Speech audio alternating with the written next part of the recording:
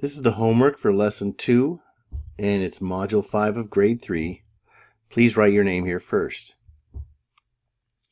And this says we're looking for strips here that are cut into equal parts and we're going to circle them. Well this one, these pieces look pretty much the same as each other and so do these. But this guy here is definitely smaller than that one.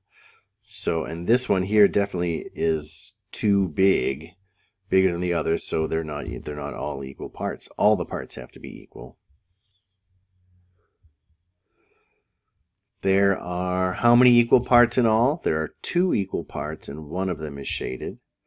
There are one, two, three equal parts in all and one of them is shaded. And here we have one, two, three, four, five equal parts in all. One of them is shaded. And here we have 1, 2, 3, 4, 5, 6, 7, 8, 9, 10, 11, 12, 13, 14 equal parts in all. And probably 7 looks like every other one. 1, 2, 3, 4, 5, 6, 7 of them are shaded. Dylan plans to eat one fifth of his candy bar. His four friends want him to share the rest equally. Show how Dylan and his friends can each get an equal share of the candy bar. Well, if he wants to eat a fifth and he's got four friends, there, I mean, there's five of them all together, right? So he needs five equal pieces for his candy bar. So we'll draw the candy bar. I mean, I can do better than that. I mean, you don't need to use a straight edge to draw a tape diagram, but there. All right, so we need to get this into what looks like mostly equal pieces. This will be Dylan's piece. And he wants that to be one fifth and it is, right? Because it's this would be one of five pieces, so it's one fifth.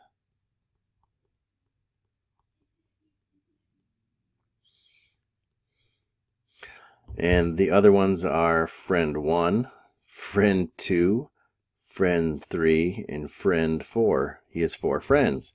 So they all get one fifth of the candy bar.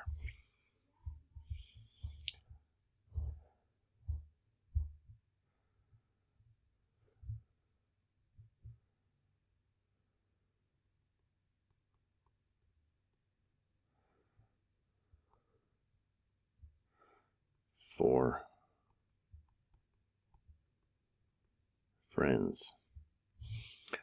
So,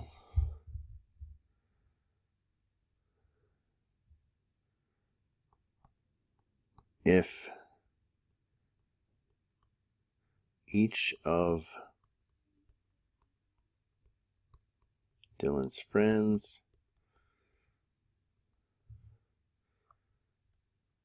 has one fifth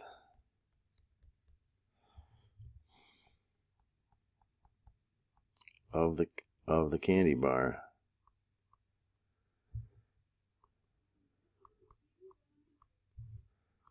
They will all have equal pieces.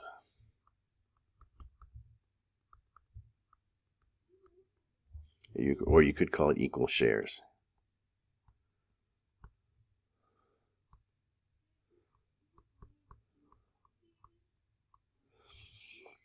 Nasir baked a pie and cut it in fourths. He then cut each piece in half.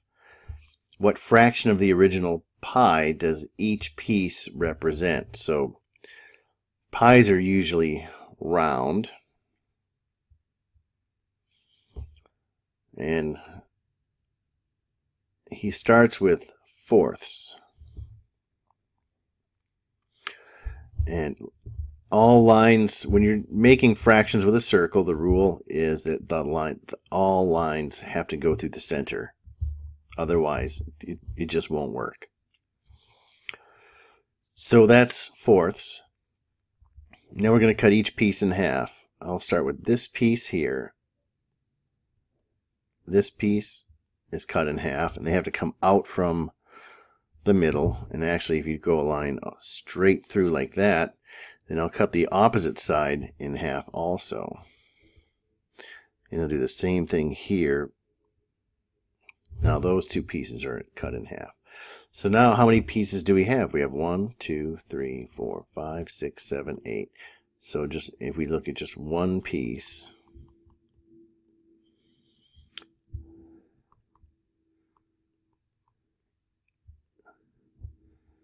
um,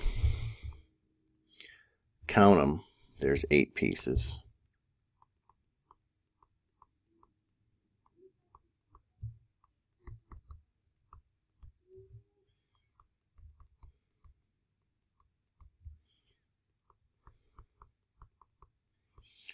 So each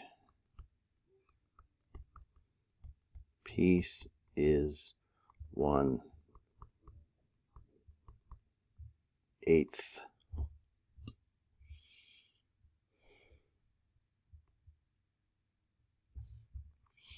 Nasir ate one piece of pie on Tuesday and two pieces on Wednesday. What fraction of the original pie was not eaten? What fraction of the original pie was not eaten? Was not eaten. So let's redraw the pie here. Mm. Mm. And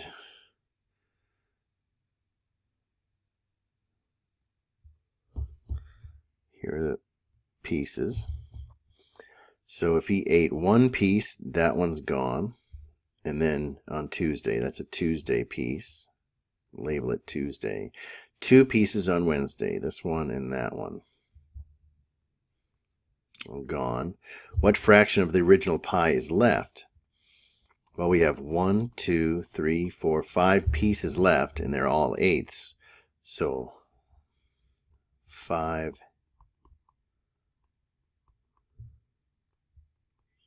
five eighths of the pie was not eaten.